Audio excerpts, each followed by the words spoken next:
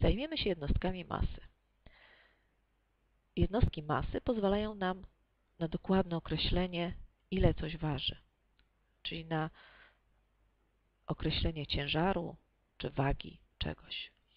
Na przykład możemy zmierzyć y, rzeczy bardzo lekkie, możemy mierzyć ich wagę. Na przykład y, ile lekarstwa musimy przyjąć. Czy możemy swoją wagę zmierzyć.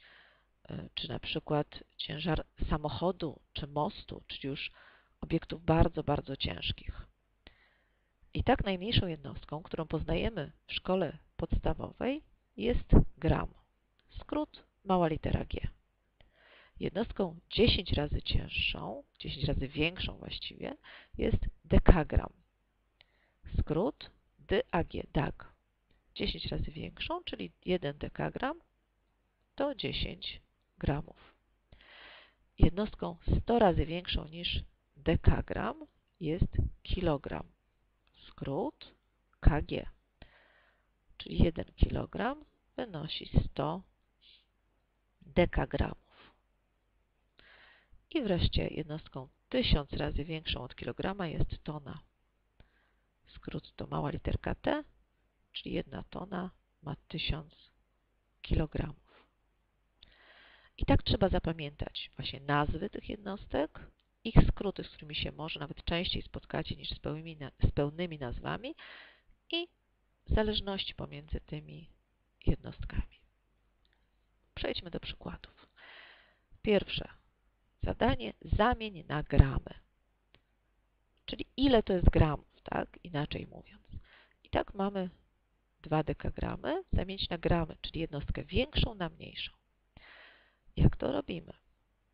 Od razu sobie przypominamy, czy jeszcze zerkamy do naszej tabeli, że 1 dekagram to 10 gramów. Czyli żeby zamienić dekagramy na gramy, co trzeba zrobić? Skoro 1 dekagram ma 10 gramów, to znaczy, że trzeba pomnożyć przez 10. Czyli 2 razy 10. Ja to narysuję w takiej chmurce, ponieważ tego nie trzeba pisać, jeśli ktoś nie chce, ale jeśli ktoś oczywiście potrzebuje, to może.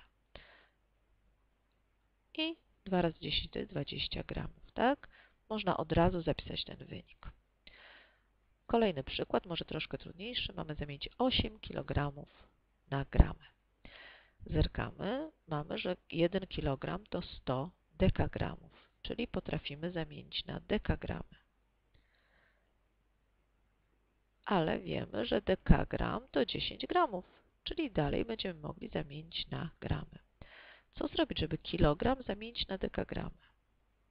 Skoro 1 kg to 100 dekagramów, to znaczy, że trzeba pomnożyć przez 100. A dalej, żeby dekagram na gramy, no to już wcześniej mówiliśmy, że razy 10, ponieważ dekagram ma 10 gramów. No to zróbmy to. 8 razy 100, też narysuję to w chmurce, ponieważ tego nie trzeba pisać jeśli ktoś nie potrzebuje. Czyli to jest 800 dekagramów. I teraz dalej zamieniamy na gramy. Te 800 razy 10 też możemy to pominąć w pisaniu, jeśli nie potrzebujemy. I to jest 8000 gramów. Ale moglibyśmy to zrobić dla niektórych krócej i prościej, czyli od razu zamienić kilogramy na gramy. Możemy zauważyć, że skoro kilogram ma 100 dekagramów, a dekagram ma 10 gramów, to znaczy, że możemy tu sobie dopisać kilogram ma 1000 gramów. Jeszcze można na to spojrzeć, że skoro tu zamieniając kilogram na dekagramy mnożymy przez 100, a później dekagramy na gram mnożymy przez 10, to 100 razy 10 jest 1000, czyli można od razu pomnożyć przez 1000, tak? Czyli na dwojaki sposób możemy to sobie zauważyć. I to też warto zapamiętać, żeby od razu móc zamieniać kilogramy na gramy. Czyli zobaczmy, można było właśnie od razu tak, że 8 razy 1000, to też w tej naszej chmurce, to jest 8000 gramów. Przejdźmy do kolejnego przykładu. Teraz mamy zamienić na dekagramy. 4 tony na dekagramy, znów jednostka większa na mniejszą. No to teraz tu zerkamy, widzimy, że tona to jest 1000 kg, czyli wiemy jak zamienić na kilogramy. Jak? Skoro tona ma 1000 kg, to trzeba pomnożyć przez 1000. A kilogramy na dekagramy? No to już tak jak mówiliśmy przed chwilą, trzeba pomnożyć przez 100, bo kilogram ma 100 dekagramów. Czyli 4 razy 1000 najpierw. Wszystkie te czynności, których nie trzeba zapisywać, będę w takiej chmurce pisała. To jest 4000 kilogramów. I dalej zamieniamy na dekagramy.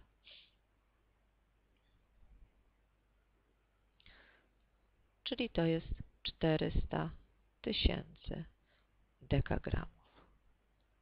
I oczywiście, tak jak przed chwilą, też możemy to zrobić krócej.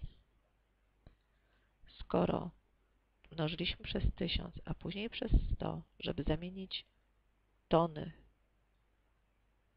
na dekagramy, to możemy od razu pomnożyć przez co?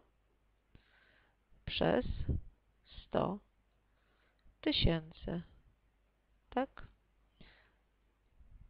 Czyli 4 razy 100 tysięcy.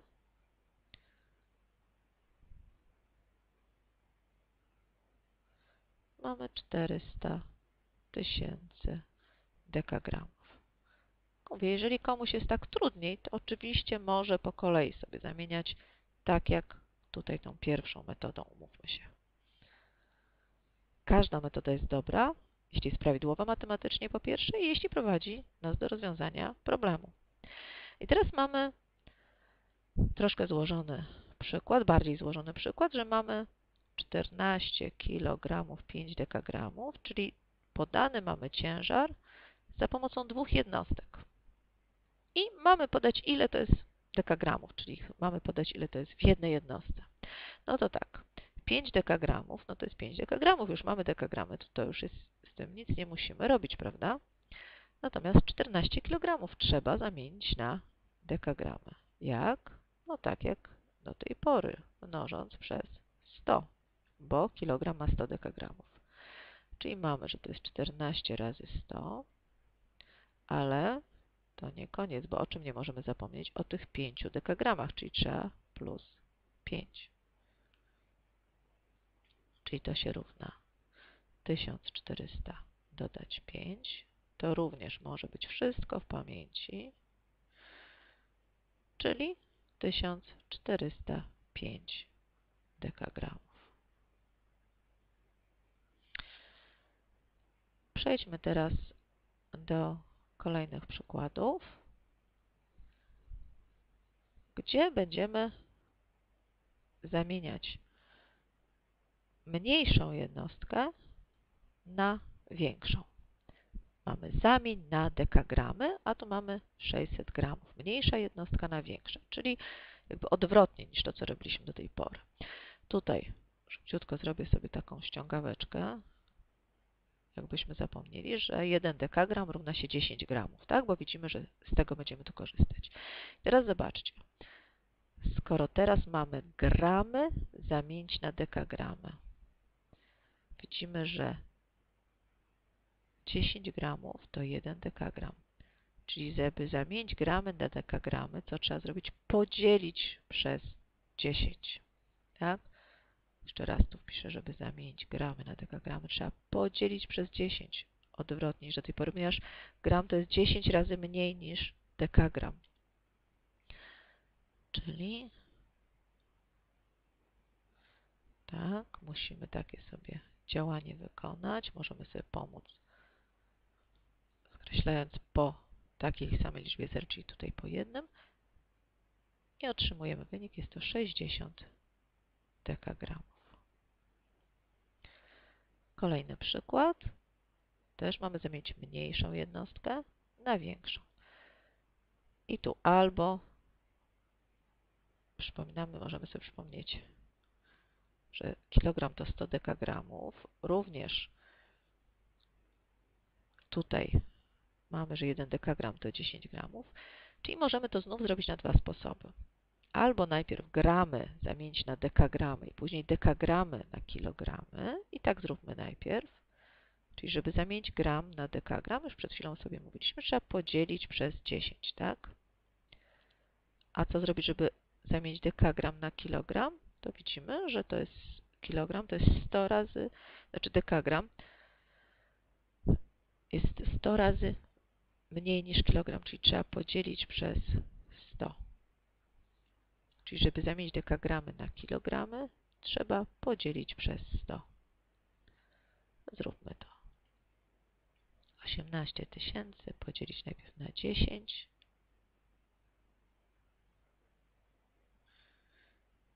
To się równa 1800 dekagramów. I teraz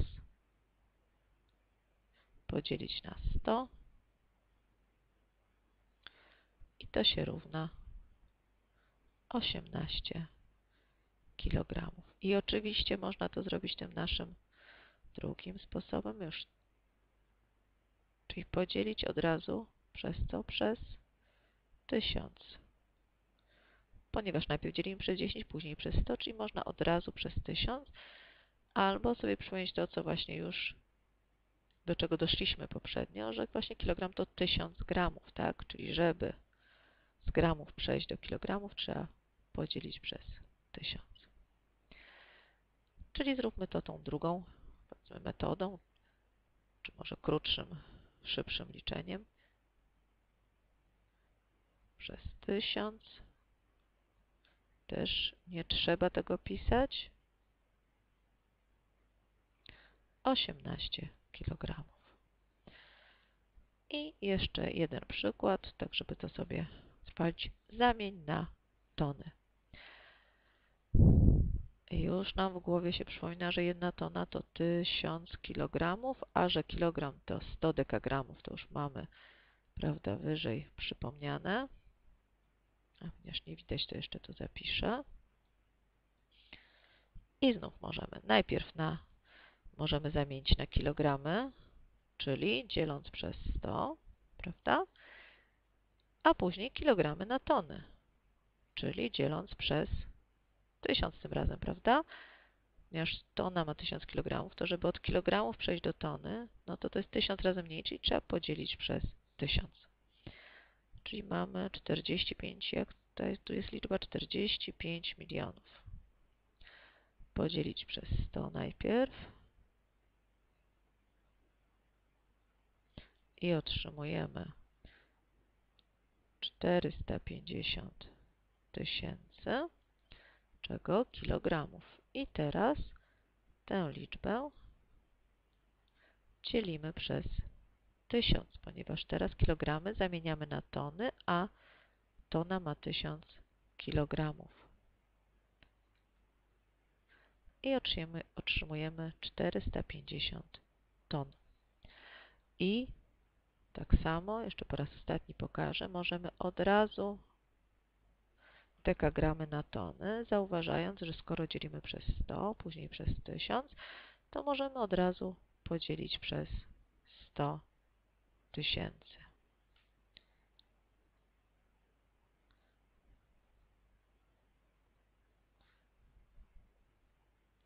Tak, dużo tych. 3, 4, 5, tak? Raz, dwa, trzy, cztery, pięć. Po tyle samo. Zaraz sobie możemy skreślić, żeby uprościć to liczenie i oczywiście otrzymujemy ten sam wynik. Czyli teraz najważniejsze jest pamiętać